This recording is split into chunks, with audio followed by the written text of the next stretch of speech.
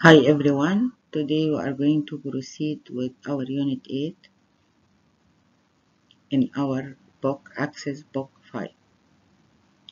Unit 8 is about food and drinks. Today is our lesson 2, School Lunches.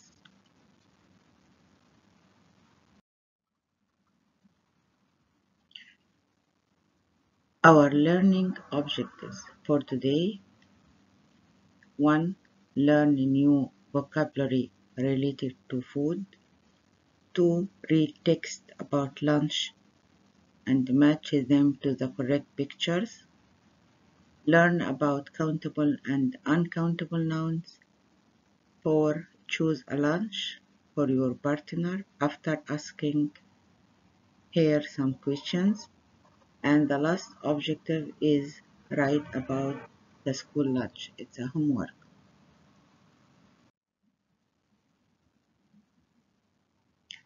Let's start with activity 1, talk.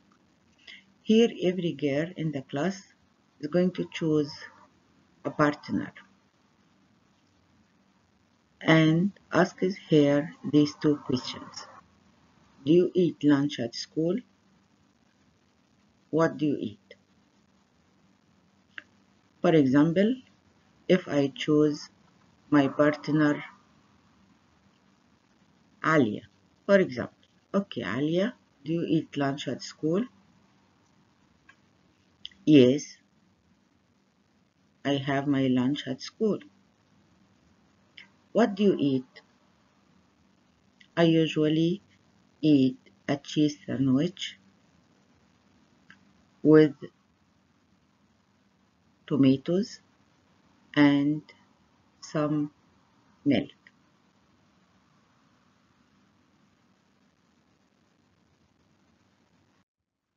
We are going to start with our objective 1 learn a new vocabulary related to food.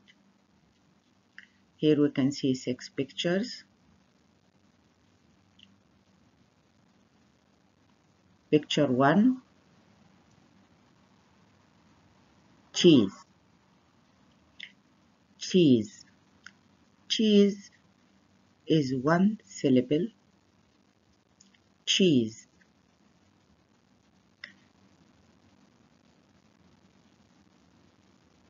Rice. Rice. Only one syllable. Soup Soup Only one syllable. Vegetables. Four syllables. Vegetables.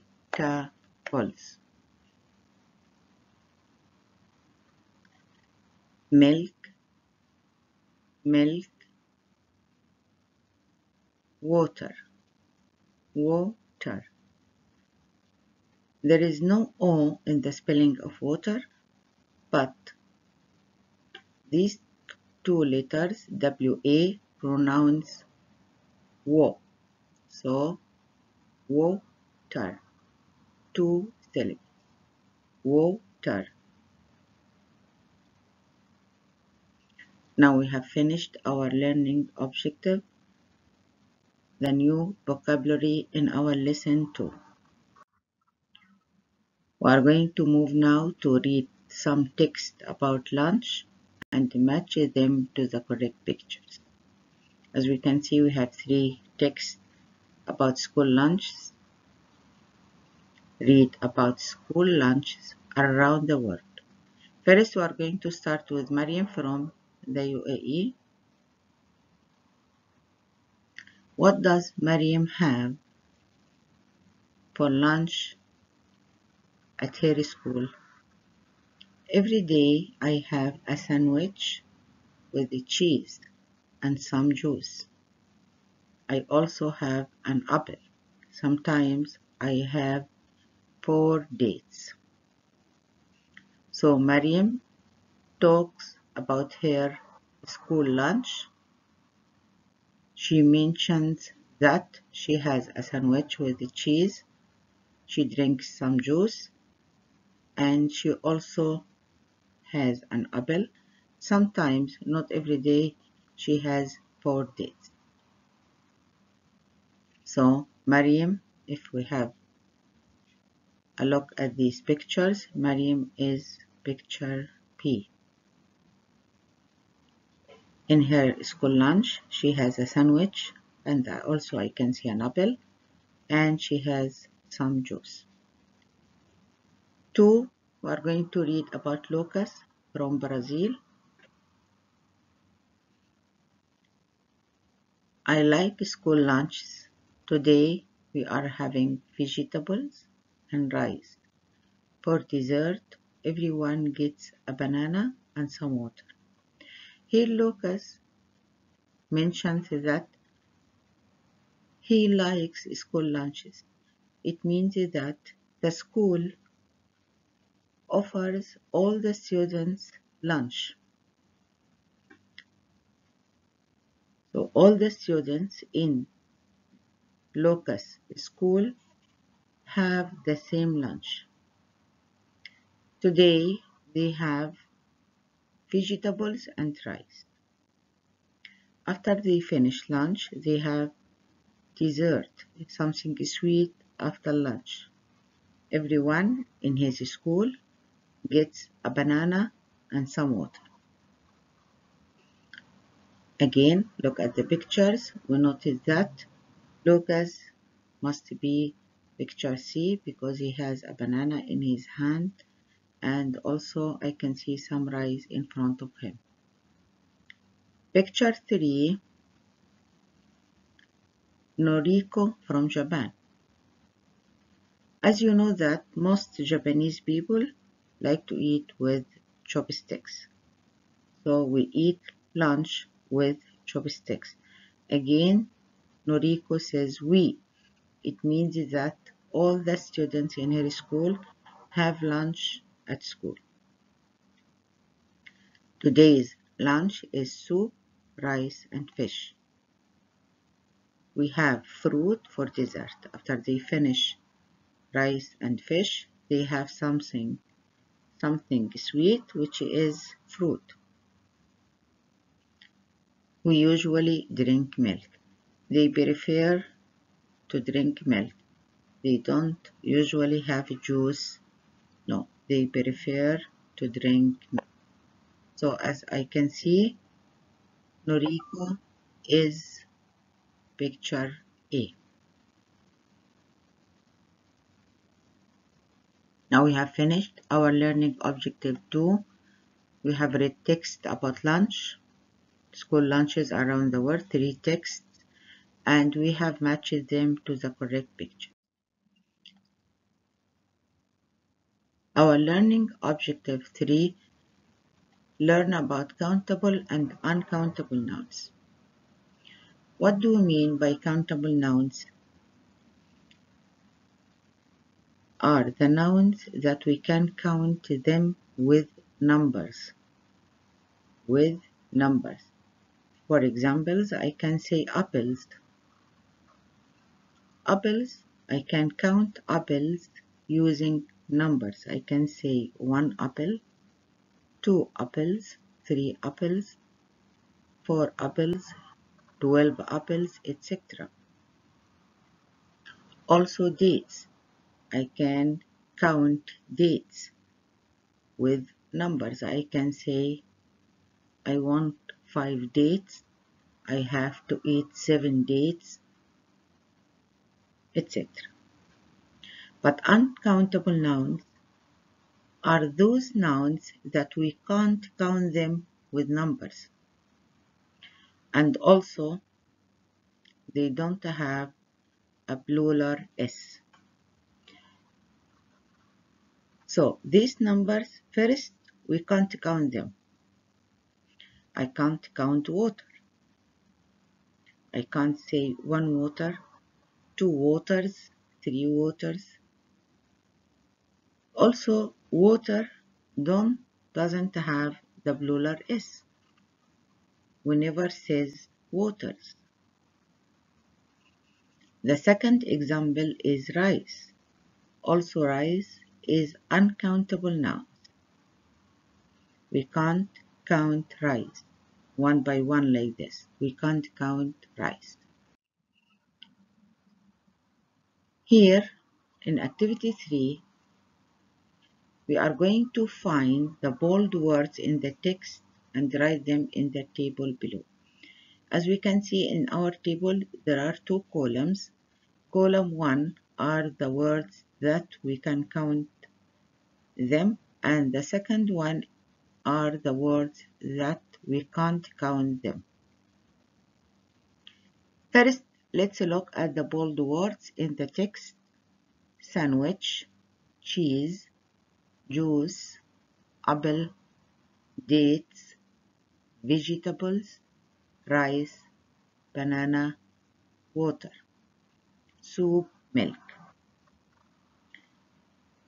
The first one, sandwich, it's written for you in the first column because sandwich we can count sandwich. I can say two sandwiches or three sandwiches, etc. Cheese is uncountable noun. We can't count cheese. And also, there is no S in cheese. The third one is juice. Also, juice is uncountable and we are going to write it in the second column. Apple countable and as we can see here an apple it means one apple but I can say two apples three apples etc so apple is countable now. Dates also are countable nouns. And we know this from four. Four dates. I can change a 4 to any other number. I can say 6 dates, 7 dates. And also we see the S at the end of the word. Now, vegetables also are countable nouns. Rice, uncountable noun. Banana, countable noun. Water, uncountable noun. So it's written here under we can't count it we can't count water soup uncountable and the last one is milk also uncountable now look at the table the words that we can count them are sandwich I can say sandwiches apple, I can say apples. Dates, I can say date or dates. Vegetables, I can say vegetable or vegetables. Banana. And the words we can't count it never have S, never have the plural S. So these words are water, cheese, juice, rice, soup. Now we have finished and we have learned about countable and uncountable nouns. Now we are going to move also milk, yes, uncountable noun. We are going to move to number four, choose a lunch for your partner after asking her some questions. Here in activity 4, each student is going to choose a partner for her and all the students are going to ask each other these questions to choose a lunch for your for their partners. For example, I'm going to choose Aisha, for example, as my partner. I am going to ask Aisha these three questions and check her answers and write these answers here. Why? Because I am going to invite Aisha for lunch. So I have to know what Aisha likes, what Aisha likes to drink, and what food doesn't Aisha like. So I'm going to ask my partner Aisha these three questions. What's your favorite food? Egg sandwich, orange, dates, nuts. So I know that Aisha likes egg sandwiches and she likes oranges or dates for dessert and she likes to have nuts. What's your favorite drink? Aisha likes coffee, water. What food don't you like? Candy, choose apple. So I know that Aisha doesn't like candy. If I'm going to invite Aisha for lunch, I won't offer her candy because Aisha says I don't like candy. Juice, apples. So I'm not going to offer Aisha any juice or any apples. So here in activity 6, when I want to write some sentence about what you choose for your partner's lunch, I am going to mention and have in mind the answers of Aisha because Aisha is my partner. Okay, what I'm going to write here, today's lunch is some egg sandwiches with tomato and some milk because Aisha says that she likes egg sandwiches. And I choose some milk because Aisha doesn't like juice. For dessert, we can have some oranges. Again, because Aisha likes oranges, but she doesn't like